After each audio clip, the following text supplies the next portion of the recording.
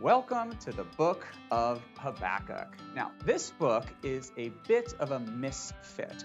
Instead of containing oracles from God to the prophet, like the rest of the prophetic literature, this book records a dialogue between the prophet and God. So, in that sense, it's more at home in the wisdom literature. Think about a book like Job and Job's conversation with God. And on top of that, both the book's opening statement and its closing prayer could have been taken right out of the book of Psalms.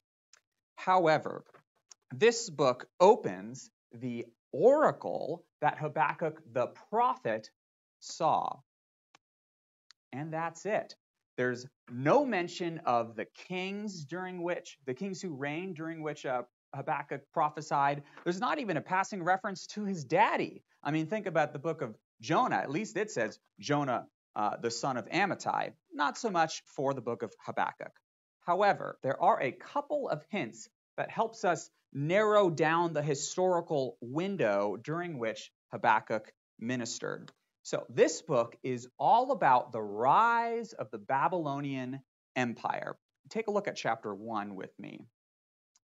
This book is all about God raising up the Chaldeans. The Chaldeans is another name for the Babylonians, that bitter and hasty nation. I'm raising them up against Judah, God says.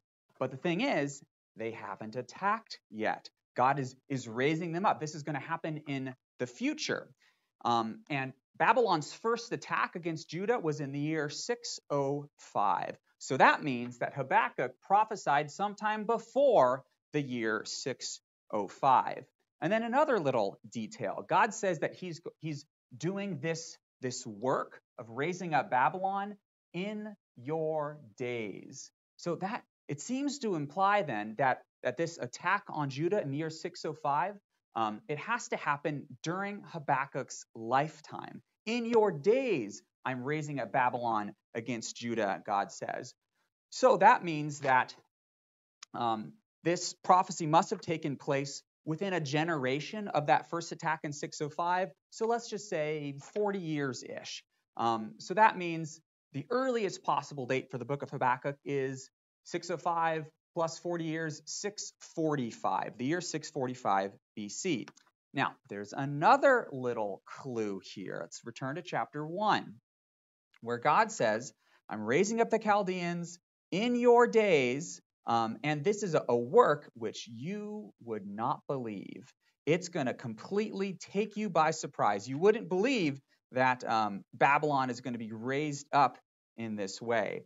Now, after Babylon takes out Assyria, there's no more surprise. Everybody knows that Babylon's the new kid on the block at this point. Um, and Babylon is going to conquer Nineveh, the capital city of Assyria, in the year 612. So clearly, uh, this prophecy had to take place before 612, because after 612, the surprise is out. Um, everyone would be would believe this this prophecy, this oracle. Um, finally, one one more little detail. The prophet Habakkuk has some pretty harsh things to say about Judah in his first complaint. And it seems unlikely that Habakkuk would, would accuse Judah so aggressively during um, its most amazing re- religious revival that it had ever experienced. I'm talking about the King Josiah. Remember his uh, revival that he started in, in 2 Kings 22? Now, that chapter of, of 2 Kings tells us that Josiah's revival started in the 12th year of his reign. Now, that was the year 628.